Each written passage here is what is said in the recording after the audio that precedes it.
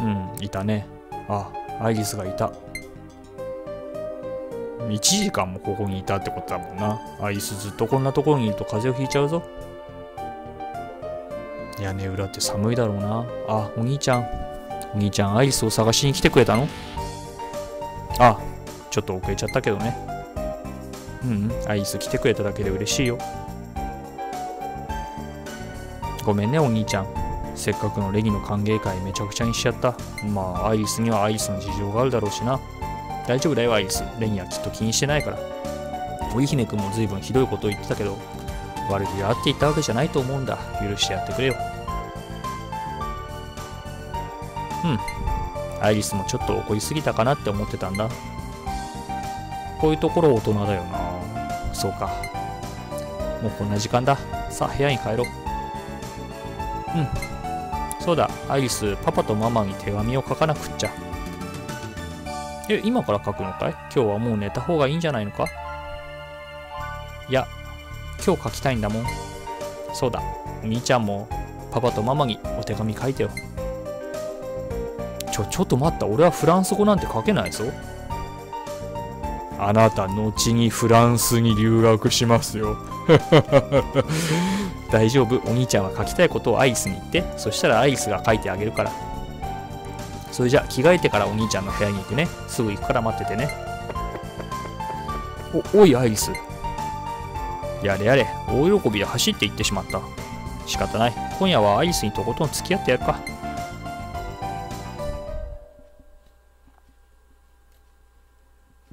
よし。とりあえず机の上は片付いたぞ。アイリスだけどお兄ちゃんいい？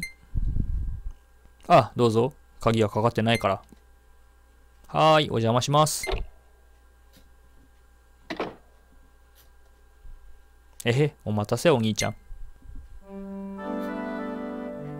それじゃあアイリス、俺の机に座りなよ。うん。部屋の配置、神山の時代とちょっと違うんだよな。わあ、お兄ちゃんの机大きいな。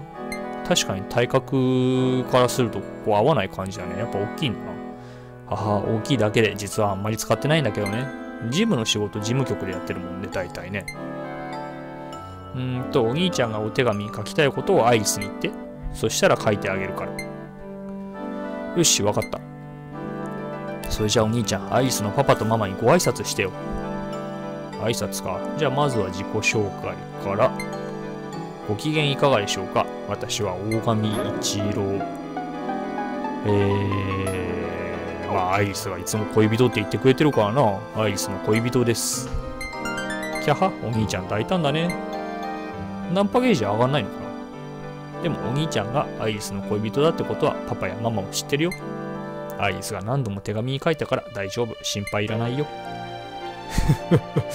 何回も書いてるんだね。さてと、次はどうしようかな。ねえねえ、アイリスのことを書いて書いて。よし、そうしようか。それじゃあ行くよ。えーと、さぞアイリスのことをご心配されていると思いますが、さぞって何？うーん、じゃあきっとでいいよ。うん、それじゃあその続きは？えーと、アイリスは、元気にやっています。あー、でも後半見たかったな後半見たかったなおてんばですの方が良かったかなえー、おてんばって子供に言う言葉でしょ？アイリスもう子供じゃないからおてんばじゃないもん。はは、ごめんごめん。それじゃあ、最後にアイリスは必ず私が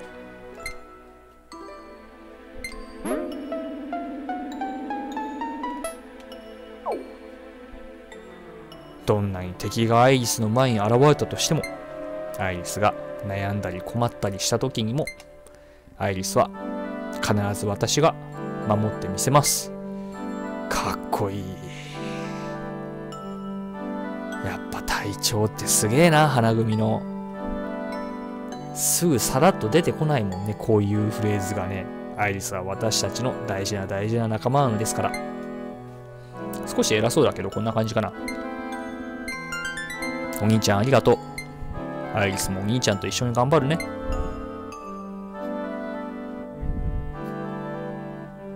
さてとこれでいいかな？ありがとうお兄ちゃん。どういたしまして。でも偉いねアイリスは。どうして？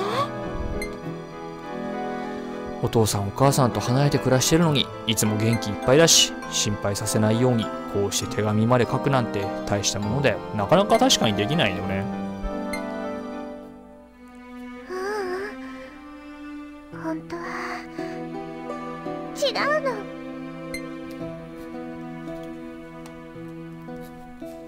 アイリス。小さい頃ずーっとお城の中にいたの。うん。お城？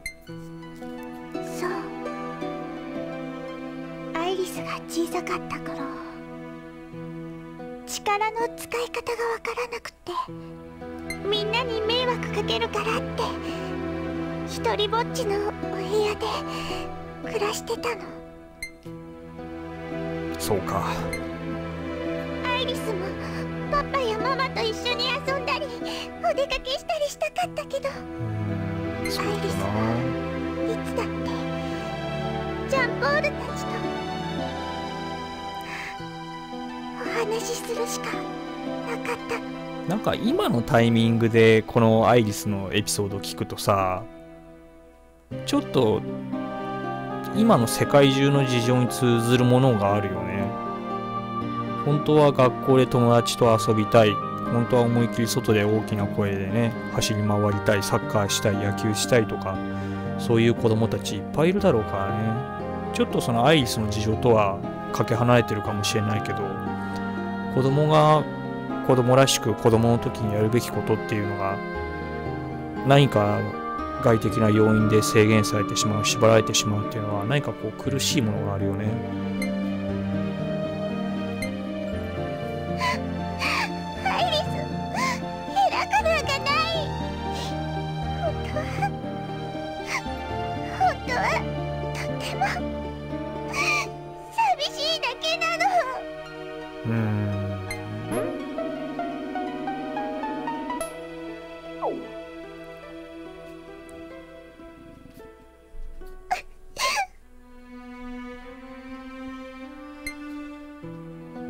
アイリス。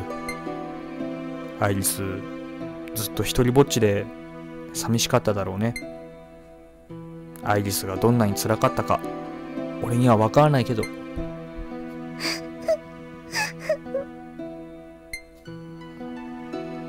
できればその時にそばにいてあげられていたらよかったのにって思うよ。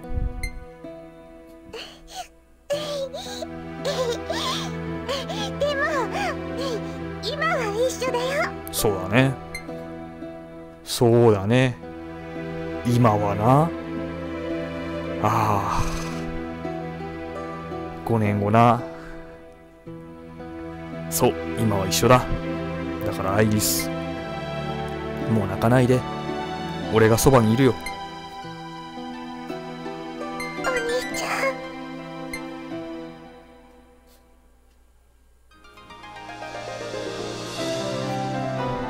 あこの絵いいな俺はアイリスのパパやママにはなれないけどでもいつもそばにいてあげることはできる。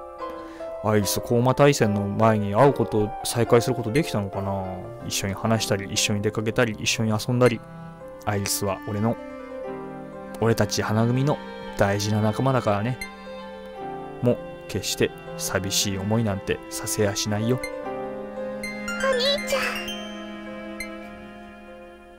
さあ夜も遅いしもうおやすみ。あ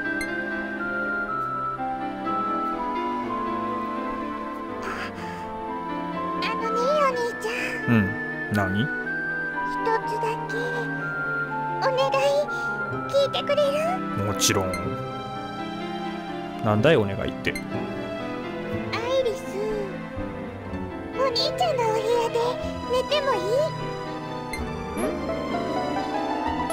寂しいだろうからな。あいいとも。一緒にいてあげるよ。ありがとうお兄ちゃん。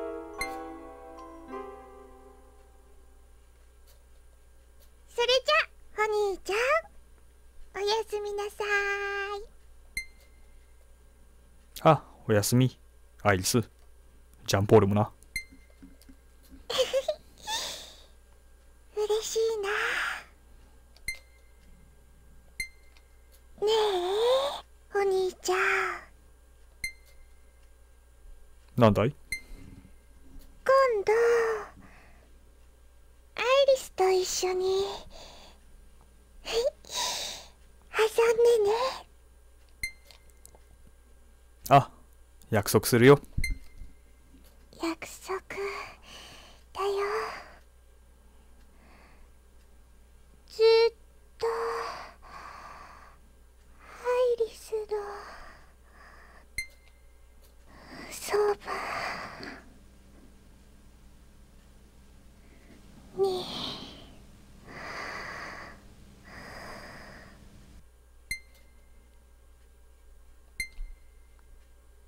あずっとそばにいるよ。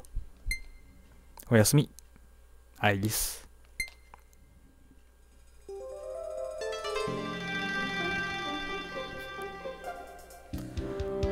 うんもう朝か。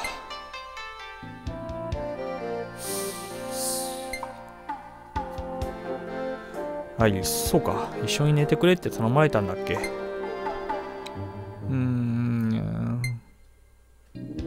ははかわいい寝顔だな。無邪気なもんだ。アイリス朝だよ。うん。昨日夜11時過ぎまで起きてたことになるよね。結構しんどい時間だよな。あれ？お兄ちゃん？わあ夢か。おはようアイリス。よく眠れたかい？うんとっても。アイリスね。お兄ちゃんの夢見ちゃった。へえ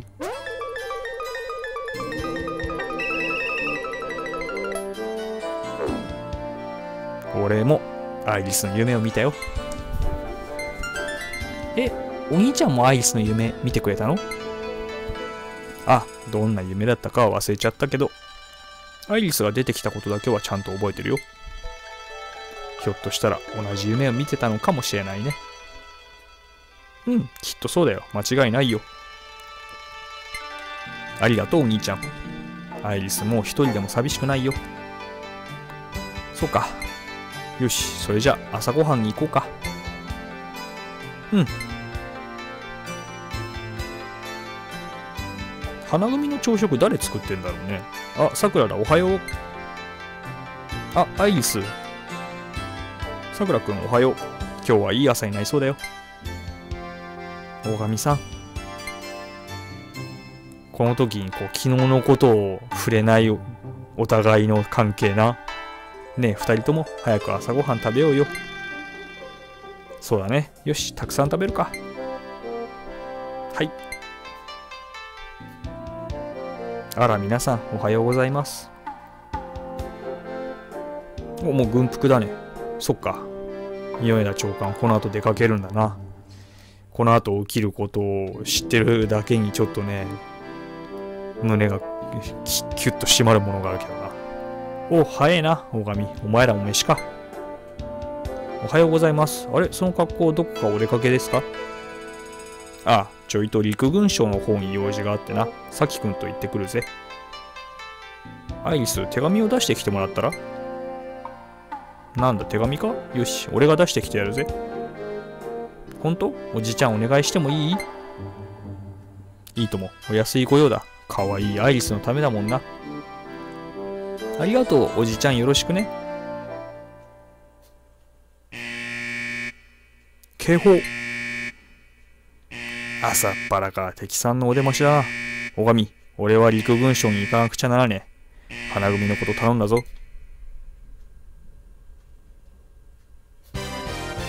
はいわかりました。アイリス。手紙はちゃんと出しとくから心配いらねえぜ。うん。お願いねおじちゃん。あ任せとけって。それじゃあ行ってくる。おおっと。支配人どうしたんですか？何靴紐が切れちまっただけだ。大したことはね嫌だわ縁起が悪い。それでは支配人我々は出動します。あしっかりやってこいようん。アイリス今日は頑張るからね。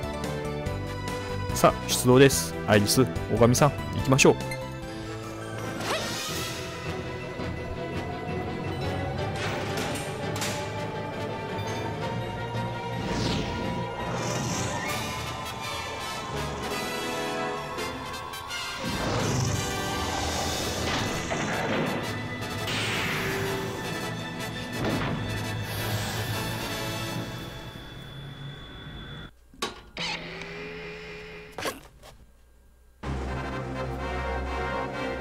抵抗回帰団花組集合しました。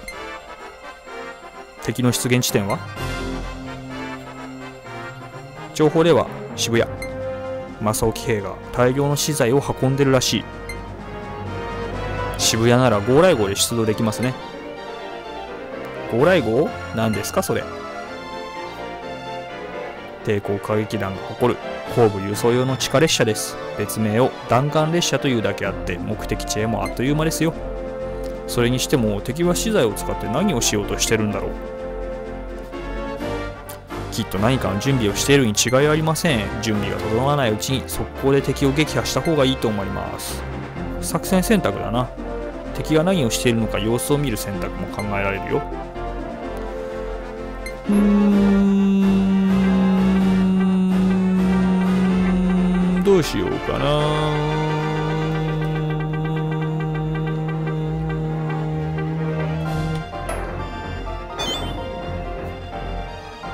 情報を集めるのが先だ。こ機械の目的が不明なユマは不用意な行動を取るのは避けた方がいい。情報部隊の抵抗回帰団月組が敵の内情を探っている。もう少し待つんだ。月組から連絡が来ました。敵の目的は戦略拠点の造営です。破壊すべき資材に印をつけたそうです。それだけを破壊してください。了解した。よし。印のついた資材を破壊するんだ。了解。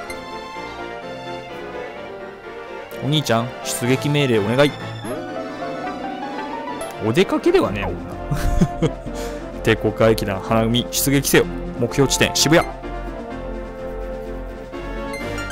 頑張りましょうね大神さん。朝ごはん前のちょうどいい運動です。お腹すくよ。出撃態勢完了。レイにかっこいいよな。アイリス今日は絶対負けないもん。アイリスにはお兄ちゃんがついてるから絶対負けないもん。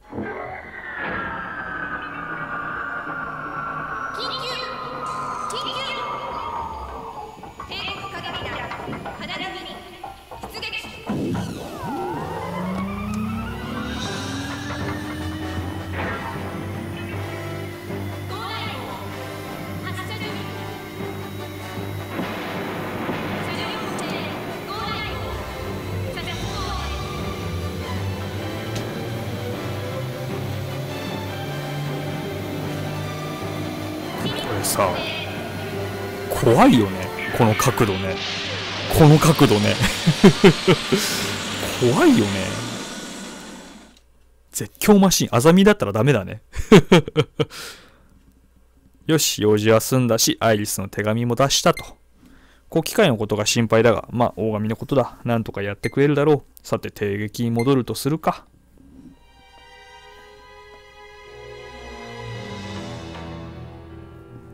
もうここで先がいない時点でね、ちょっと不自然だもんね。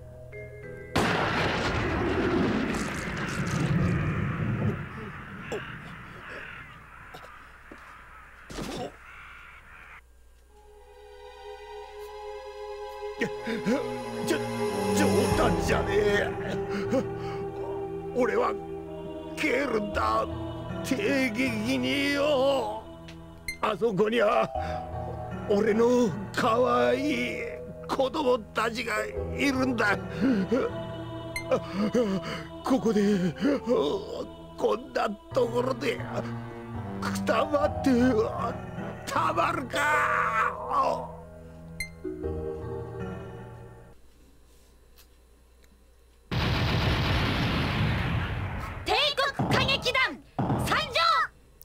さあ、米田司令の指示がない中で、この5人で戦わなければいけません。情報通り、戦略拠点増設のための資材が運ばれているね。そうだね、月組からの情報を集めた状態で戦闘に臨んでいるね。月組からの情報では、青い印のついた資材を破壊すればいいんですよね。赤い印のついているのは危険だと言ってたです。白い印のは回復ができるんだよね。よしみんな青い資材を狙っていくぞ。頑張って大神さん。いやこの頑張って大神さんは本当励みになるよね。えー、ちょっと。うん。次さくらの番ですね。林作戦なら偏りがない分安心できるもんね。でまあ何度も言うけど補正がないからな。この青い資材の目の前にいる敵を倒しておかないと後々頼れるのは自分だけ。青い資材自体を壊せないからね。ここに行っておくか。でレギーがこの資材を破壊しようかたった2マスの射程距離だけどそれでも目標撃破。攻撃範囲が広がるからいいよね。移動。2は結構テンポはいいからいいよね。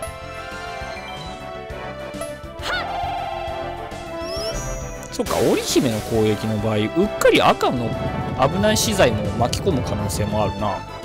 残り3つです。ちょろいもんです。破壊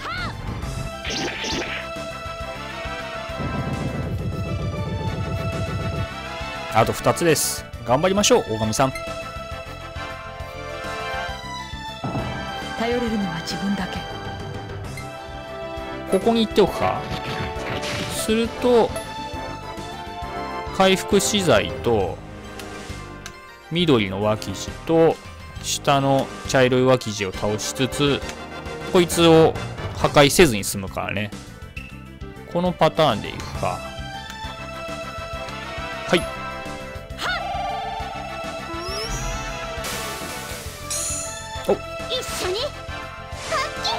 いいね。協力攻撃見れましたよ。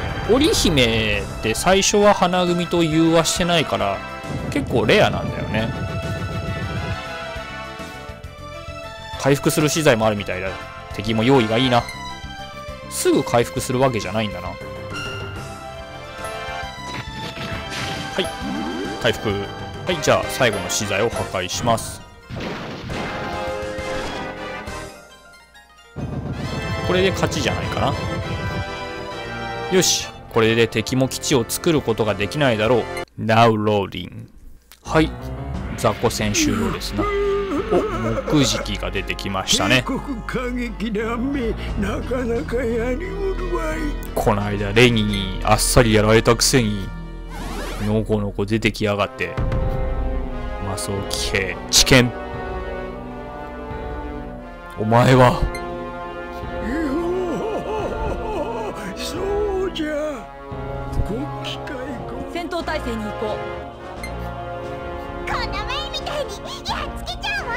そうだそうだ。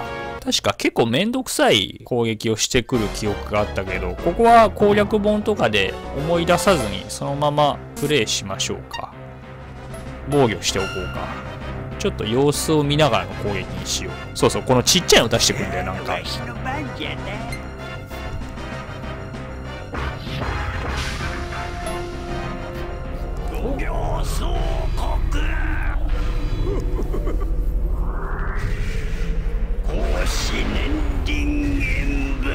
年輪を木にかけるあたりが、ネーミングがうめえよな。そう、なんかこんな感じだったんだよな。こうやって、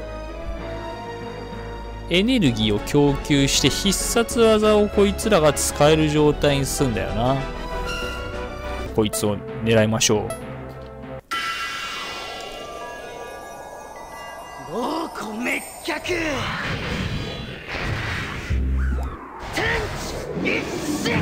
かっこいいね。これでどのぐらいかな ?96 か。お兄ちゃん、あ、そっか、隣だからね。アイリスの手紙ちゃんと届くかな？米田長官に預けてたからな。アイリス、もちろんだよ。どうなるかな？もうこれでしょ。アイリスが心を込めて書いた手紙だから、アイリスのお家にちゃんと届くよ。うん。早くパパとママに安心してもらうためにも戦いを終わらせないとね。いや、でもそうだよな。両親からすれば、ヨーロッパからアジアにこんな戦場に送り出してるわけだからな。うんうん、大丈夫。アリスにお兄ちゃんがみんながついてるもん。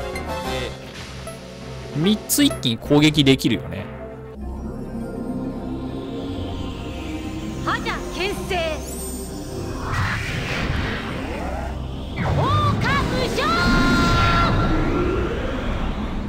1をやった時の桜花方針の縦一列どこまでも攻撃できるっていうのもすごかったけど桜花無償の5マスも十分強いよね。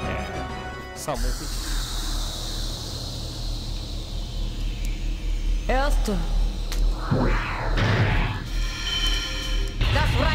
よし。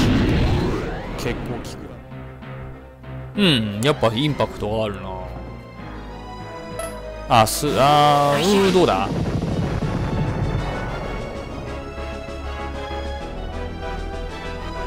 ここから防御したりしたらうえ一ターンで2つやれるの？なんかずりーな。まあ攻撃必殺じゃないからいいけどな。援護必殺だから。援護機体の円空って順番どうだったっけな？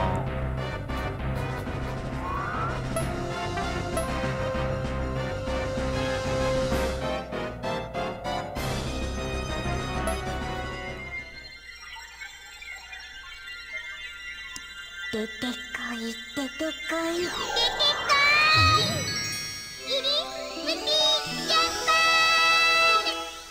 いよしこれで全員回復できるでしょう。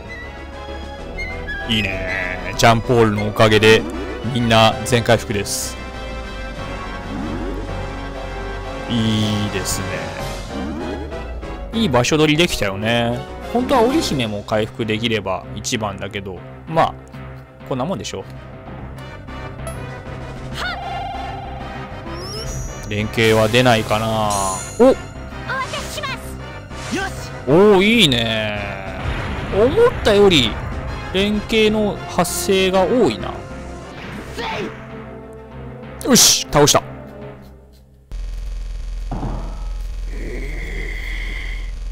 わしの計算の上を行くとはさすが米田の集めた精鋭たち。お前の計算ここまで大したことねえだろ。まあよい。ここまで時を稼げば十分じゃ運命の歯車は回っうんうんうん。まあまあこうしてる間に一つ事件が起きてるもんね。目次。機今回はなんとか撃退できたけど。勝ってたんだからいいじゃない。それよりねいつものやろうよ。まあさくらの言う通りだよな。実は結構苦戦はしてられるもんなやりましょう。レニーは知らないから教えてあげますけどこの人たちは勝った後に必ず決めポーズするんです。なんやかんや織姫が率先して教えてるってことは気に入ってんじゃない？ダメ。レニーも一緒にやるこのアイリスの距離感の詰め方がね、後々レニの心を開いてくれるわけだよね。ああ、いいですね。まだまだ人数少ないけどね、ここからまた次のストーリー3話で彼女たちが戻ってきてくれますね。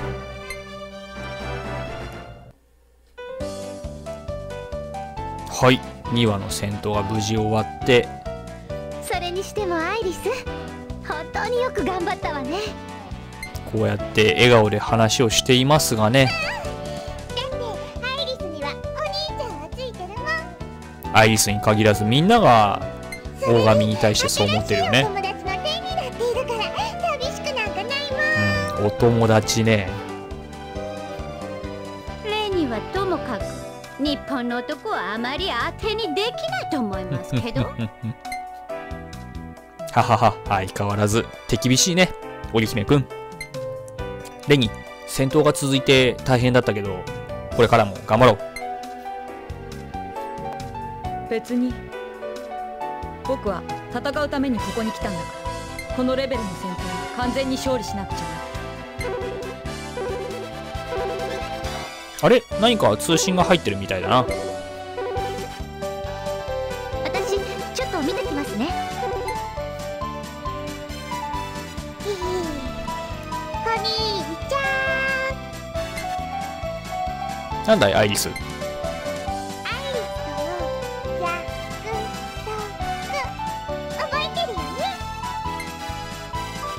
約束？もうお兄ちゃん一緒に遊んでくれるって約束したじゃない。ああ、そうだったね。じゃあ帰ったらまずデート。きっぱり。一緒にお買い物して一緒にご飯食べて。それからそれから。そういう日常が一番いいよな。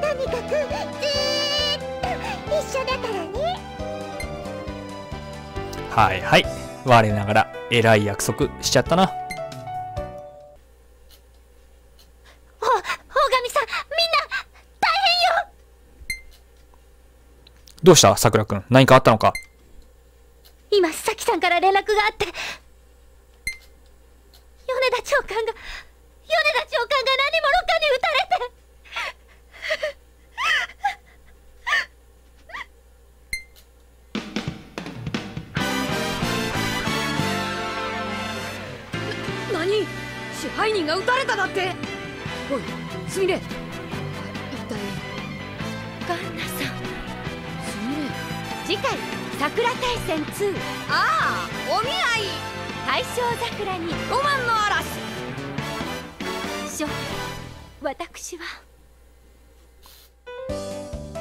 はい、以上で第2話は終了になります。ちょっとここまでを振り返ってみましょう。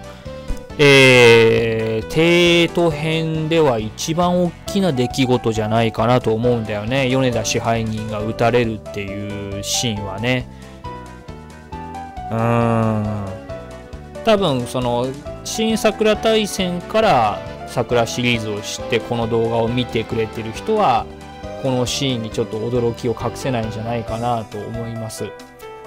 あとは、この2話から加わった、えー謎の人物といいますかね、影山咲がどのように関わってくるのかというのも気になるところです。